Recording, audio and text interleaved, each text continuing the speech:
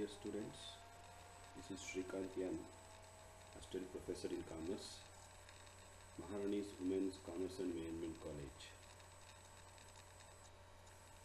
Today, my topic for presentation is for final year BCom student.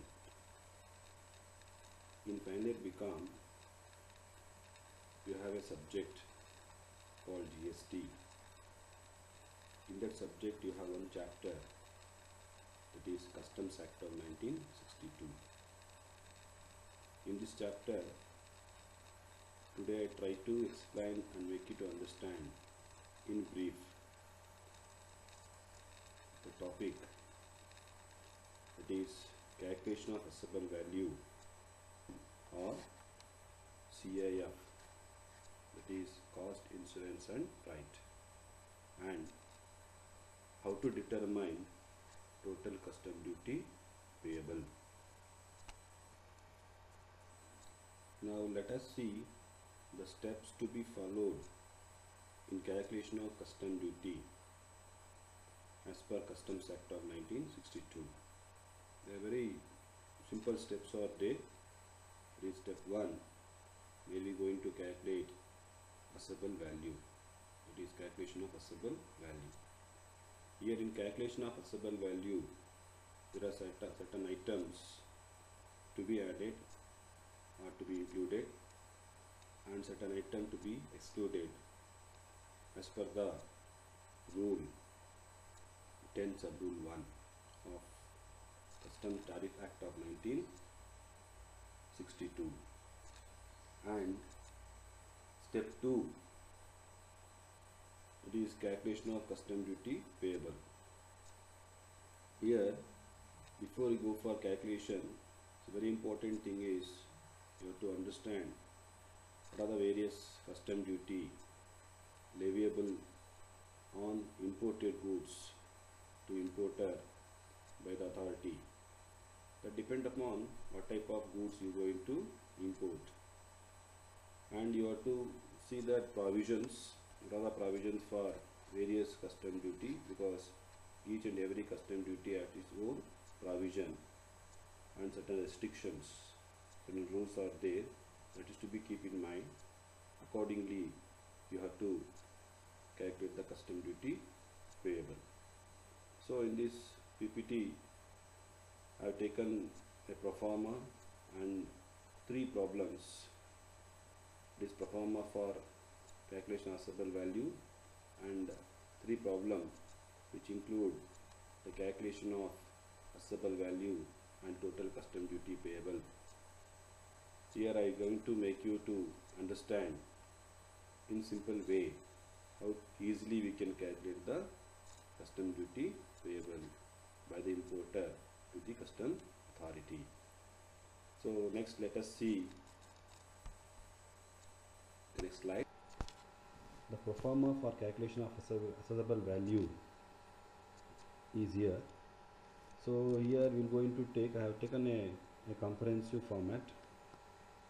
So here we are going to take the value of material at ex factory price that is at the factory price in exporter country and we will add carriage, freight, insurance up to the port to the, the port of dispatch in the exporter country.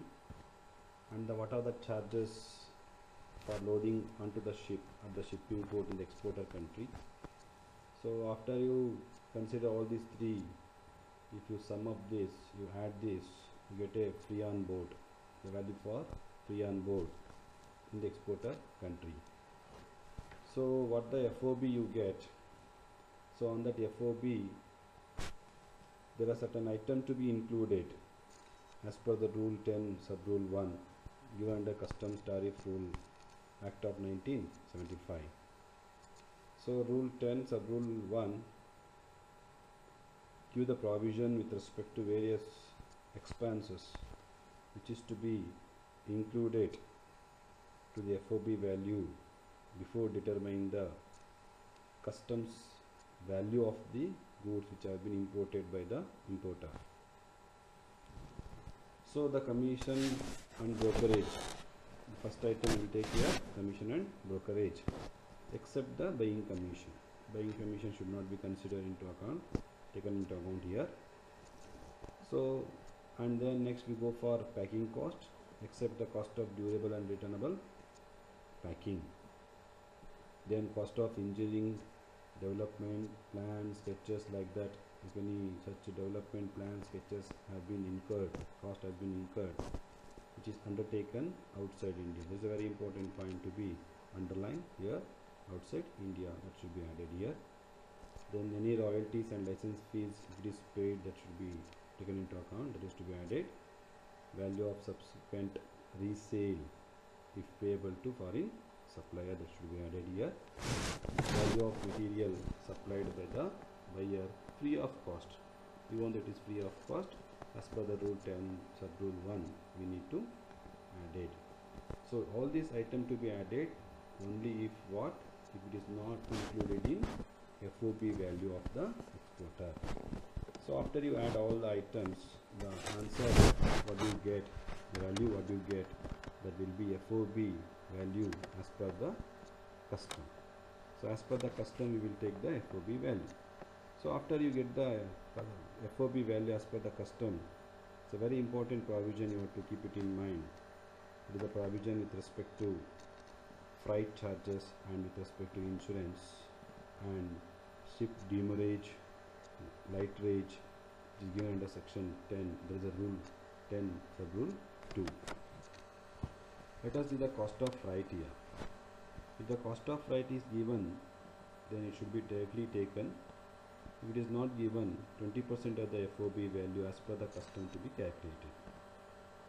But while taking cost of freight very important point you have to noted here is if the air freight is given basically if the importer is importing the goods through air route then if the air freight is given then you have to compare that air freight with the 20% of FOB value whichever is less that should be considered. That what the provision given 10 subsection then ship demurrage. Demurrage charges nothing but here delay in lifting the goods. The goods have been dumped on the custom station. If not is been lifted. If any importer makes delay then the authority will go into levy charges. This ship demurrage charges only on chartered vessels. If you bought the goods under chartered vessels then it should be added here. Then light lighterage or berth charges as per the rule 10 sub, sub rule 2 you have to add. Then the insurance. Here also if the insurance is given the value is given if it is ascertained then the actual value which is ascertained are given to be considered. If not then 1.125 percent of FOB value as per custom to be added here. So if you add these three item four items usually you get two items here that is the cost of freight and the insurance. So the ship demurrage and lighterage are exceptional cases you will get the items. So if you add this item the answer final answer what you get it is called as here what assessable value or we called as what? CIF cost insurance freight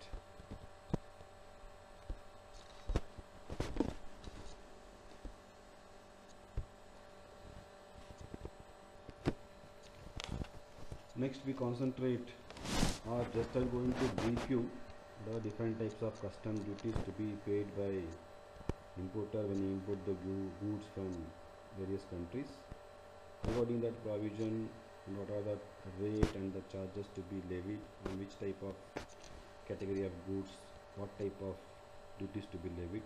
All such provision the rules have been made under custom tariff act of 1975 so here the custom duty classified into two category here import duties and export duties.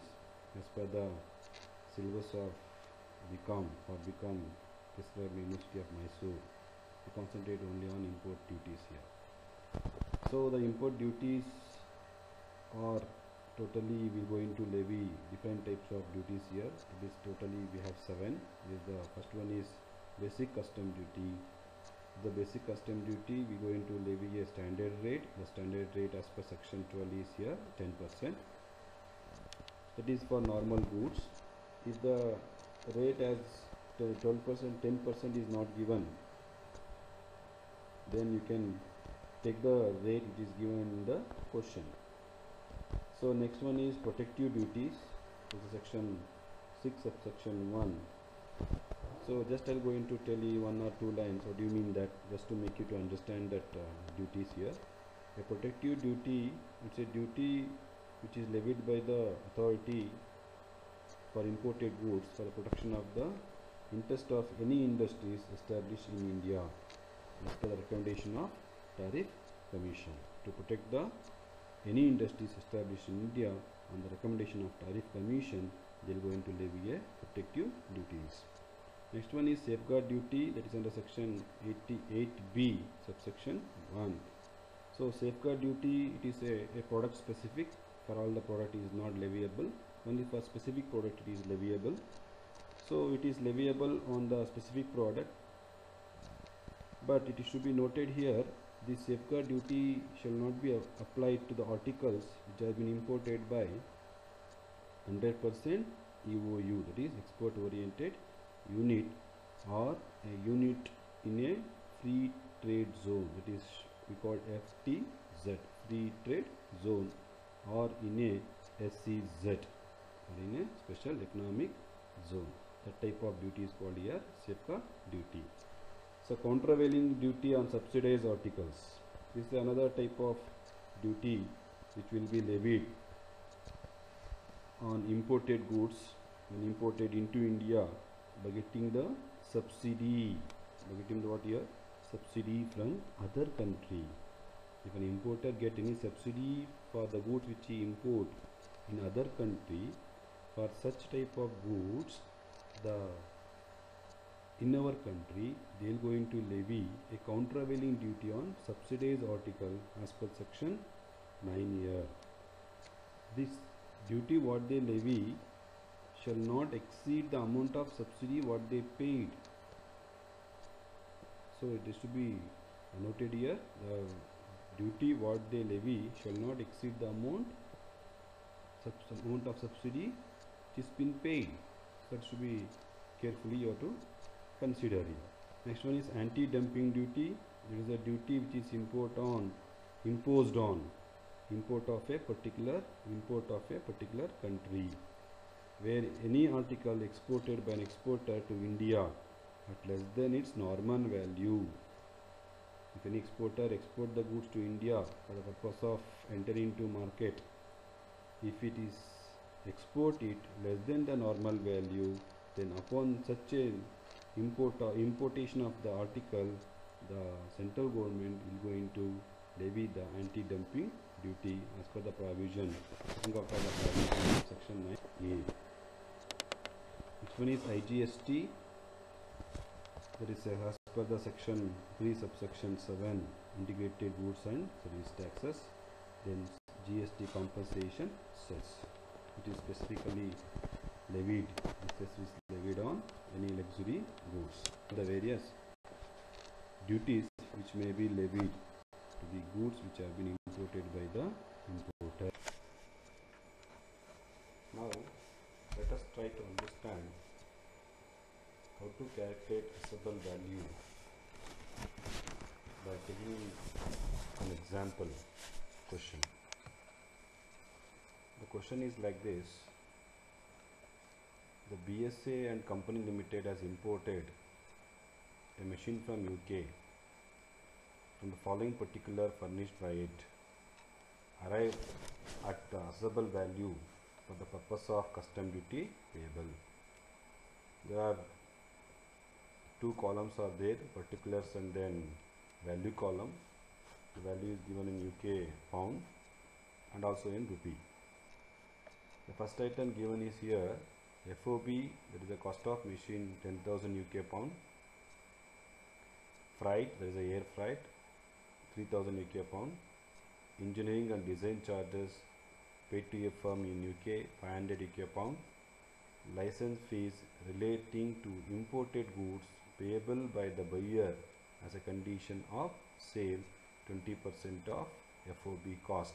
The value is not given but it says that 20% of FOB cost. Material and components supplied by the buyer free of cost valued here rupees 20,000. It is in rupee. Insurance paid to the insurer in India it is also in rupee rupees 6,000. Then one more item we have buying commission paid by the buyer to his agent in UK is 10,000 UK pound. So as five items in UK pound and two items in rupee, so we have to convert into common currency. We convert into rupee. Let us see the other particular what the information is given relating to this question. The other particulars is like this. Interbank exchange rate as arrived by the authorized dealer rupees 98 per UK pound and second one is CBIC had notified for purpose of section 14 of Customs Act of 1962 exchange rate of rupees 100 per UK pound. So when two or three exchanges is given by different authority or authorized dealer like that then you have to consider the provision given under the act. What the provision says here whatever the rate given and by different authorities you have to consider the rate which is prescribed by the CBIC for the purpose of Customs Act of 1962.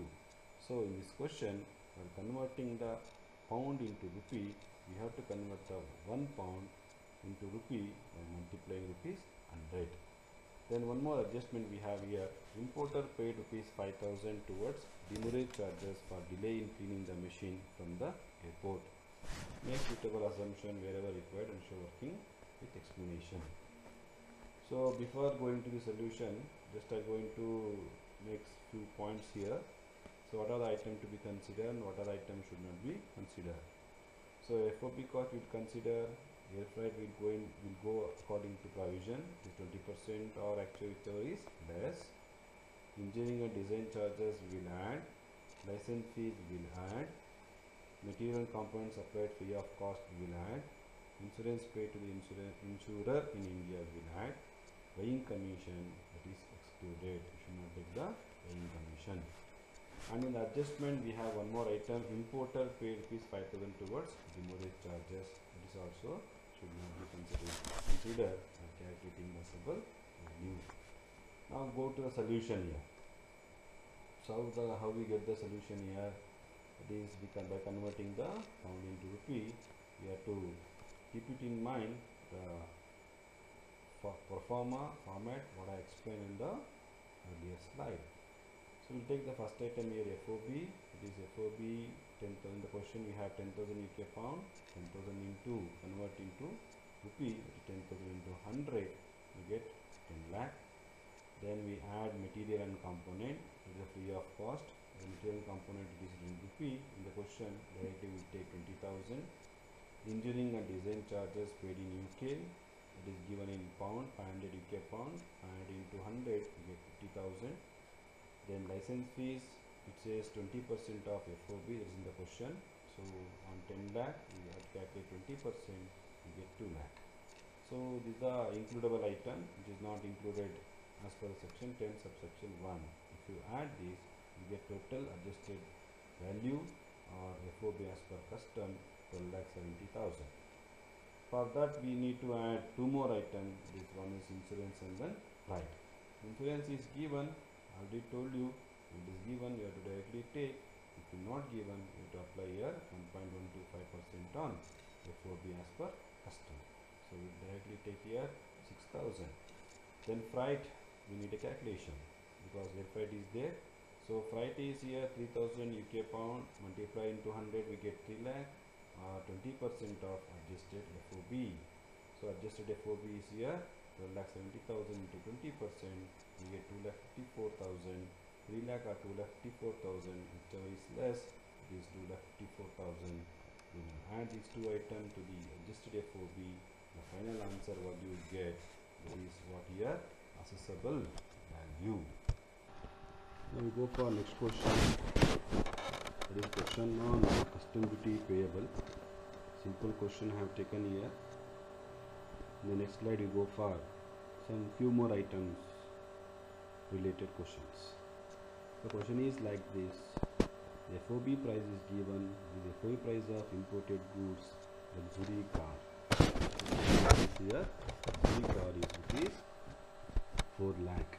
Cost of transportation is rupees 2 lakh 50,000. Cost of insurance is rupees 80,000. Question is what?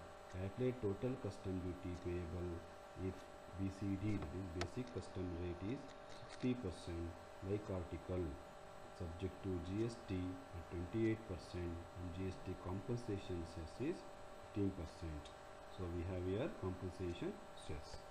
So first of all to determine custom duty payable what we need to do here step 1 I told you determination of assessable value. The step 2 we are going to calculate custom duty payable. So in one single format or single uh, format I will solve the question here. So first of all we are going to take the item here FOB it is already given. Simple question here. Direct answer FOB is 4 lakh. Then transportation is 2 lakh 50,000 insurance is 80,000 so if you add all these three items you get the CIF price or assessable value the 7 lakh 30,000 so now let's next step 1 is over. Step 1 we have calculated assessable value. Step 2 is the calculation of custom duty payable. The first custom duty is what here? BCD the basic custom duty rate is given is 60 percent. 60 percent of what? 60 percent of assessable value so on assessable value is here 7,30,000 on the 60 percent if you calculate you will get 4,38,000 so compulsorily we have to give surcharge. The surcharge is here social welfare surcharge. Or we called as SWS at 10 percent. Surcharge is calculated on what? Basic custom duty. It is 4,38,000 into 10 percent you get 43,800 then next we go for after calculating surcharge we need to calculate the IGST that is the GST that is uh, ACD have written there it is uh, additional custom duty or we call as IGST IGST is here 28 percent. While calculating IGST we have to consider three values here. It's a sub value plus BCD plus social welfare surcharge if you add all these three on that you have to calculate 28 percent. So 7 lakh 30,000 plus 4 lakh 38,000 plus 43,800 you add all the three into 28 percent. You get the answer here 3 lakh 39,304 then after calculating IGST we have one more uh, tax to be calculated the duty to be calculated with the GST compensation cess this GST compensation cess will not applicable to all the goods so it is a luxury car hence we have to consider this 15 percent. So the for the 15 percent so what are the value considered for IGST same value to be considered this assessable value plus BCD plus social welfare surcharge.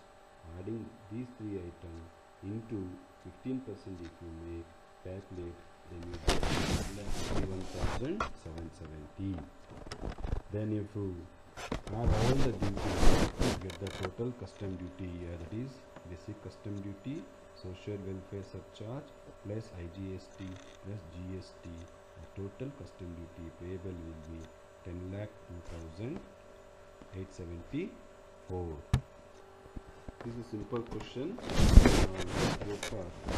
the question for calculating custom duty payable. Let us take this question. Let us read once and uh, try to analyze it and understand what are the items to be included and excluded by calculating. Step 1 that is assessable value here. So the problem is like this. Dheeraj import by air from USA a gear cutting machine complete with accessories and spares its HS classification is 84.6140 that is the code here and value US dollar FOB is 20,000 other relevant date and information is given here. What is that relevant date and information? At the request of Dheeraj, US dollar 1000 have been incurred for improving the design etc. of machine. But it is not reflected in the invoice but will be paid by the party. That should be considered. Goods are insured but premium is not shown or available in invoice. So the insurance is not available then you have to take here. 1.125 percent as a fixed rate on the FOB value. The freight is given as it is an air. You have to compare with the 20 percent of FOB value or actual whichever is less to be considered. Commission to be paid to local agent in India rupees 4500 freight and insurance from airport to factory. That is the 4500 that will not consider because it is freight and insurance from airport to factory means after import whatever the expenses you have incurred it is not be considered for calculation of assessable value. Only we take the commission paid. Next exchange rate is given. Us dollar 1 is rupees 45 is the old rate I have taken here. Uh, then duties of customs basic 25% GST is 12% the question is what? Compute assessable value and custom so what is the solution? Solution is like this. So we, follow two steps. And the step one is value and step two custom duty payable or total duty payable. So in one format I have shown in the slide. Determination of assessable value and custom duty payable. So what do we take here? FOB value we will take. That is the value given in the question is in the dollar is 20000 converted only one rate is given so we will consider that rate itself as 45 20000 into 45 here we come across 9 lakh.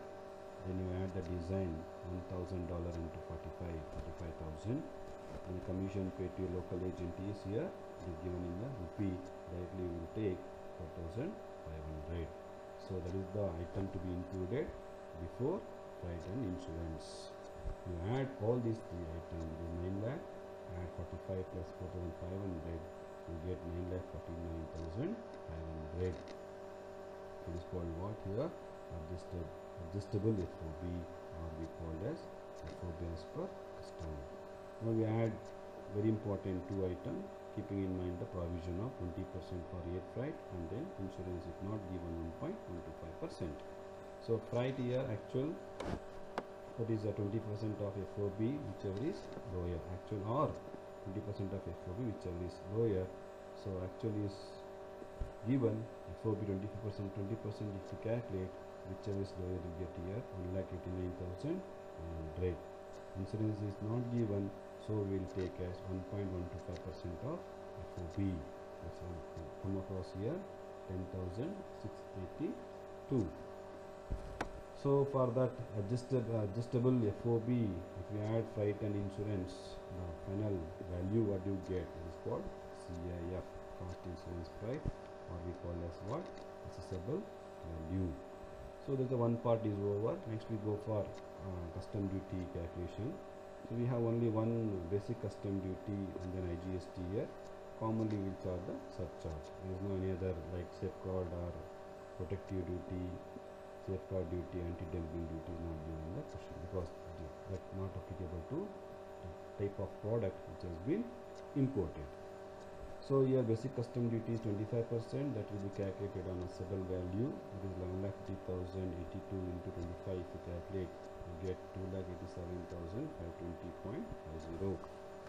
2,87,520.50. Surcharge of 10%, that is 10% means on BCD, the value BCD is 2,87,520.50 and that we have to calculate 10% that we get 28,752.05 then we have to provide here IGST it is 12% so IGST for the IGST the value of value is assessable value plus BCD plus social welfare surcharge that is 11,50,082 plus two lakh eighty seven thousand five twenty point five zero plus twenty eight thousand seven fifty two point zero five. On that you calculate twelve percent you get the amount here one lakh seventy five thousand nine sixty two point five five. That is the IGST now the final answer will be what total custom duty payable or total duties payable. You have to add the duties what we have been calculated. It is from 0.89 and 10 it is uh, 2 lakh 87 520.50 28,752.05 1 lakh 75,962.55 total come across here 4 lakh 92,235 this is the total the total duty payable so these are the three problems I have taken for a brief explanation or make you to understand the procedure and the format to how to determine the assessable value and the custom duty payable. So there are few more problems out there just to make you to understand this uh, topic and the chapter I have taken these three problems. I hope that you have understood. Thank you.